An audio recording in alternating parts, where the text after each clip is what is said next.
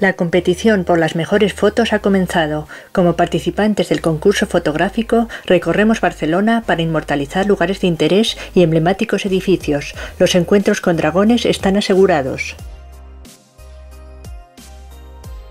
86 cartas de fotos de lugares de interés, 24 cartas de transporte, 32 fichas de edificios del perfil, 6 fichas de perfil, 6 fichas de tema, 6 losetas de cámara, 6 fichas de zoom, ficha de dragón, 6 peones, 6 marcadores de itinerario de luz, tablero, instrucciones en castellano, catalán, inglés, francés y alemán. Antes de empezar colocamos el tablero en el centro. El número de jugadores determina la cantidad de fichas de edificio de perfil que situaremos en sus correspondientes zonas. Tras barajar las cartas de fotos de lugares de interés, se dejan cuatro visibles, en partidas de 2 a 4 jugadores, o 5 en retos a 5 y a 6. El mazo se deja a un lado. Tomamos al azar dos fichas de temas, devolviendo las sobrantes a la caja. Cada participante recibe una cámara de fotos, las piezas de un color y tres cartas de transporte. Las demás conformarán un mazo central. Coloca el peón en la casilla de salida marcada en su cámara. El zoom se sitúa con el 3 a la izquierda. Se obtiene una ficha de perfil oculta ante los demás. Se completa el escenario dejando otras cuatro cartas de fotos de lugares de interés en el itinerario de luz. Deben pertenecer a zonas distintas, por lo que se descartan hasta conseguirlo.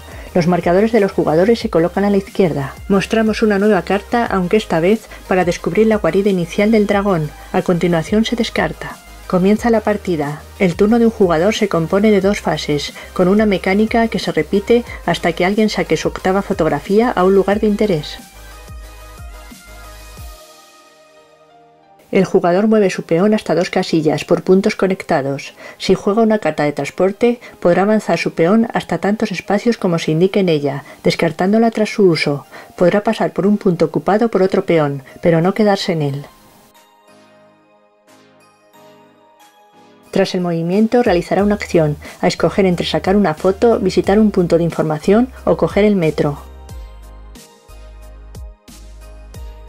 Podrá sacar una foto desde la casilla en la que se encuentre a un lugar de interés seleccionado por los jueces, a un edificio del perfil, al itinerario de luz natural o al dragón. El zoom permite sacar fotos a distancia, en base a los puntos que quieran gastarse.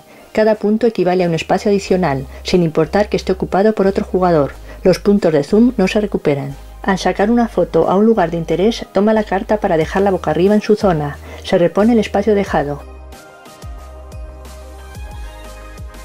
Al fotografiar un edificio del perfil, obtiene su ficha si hubiera. También la deja visible, no podrán tenerse repetidas. Cuando se hace una foto al itinerario de luz, se mueve el marcador hasta esa carta. Cuanto más se haya avanzado, más fotografías podrán puntuarse al final de la partida. Las cartas del itinerario de luz nunca se retiran, debe completarse en orden.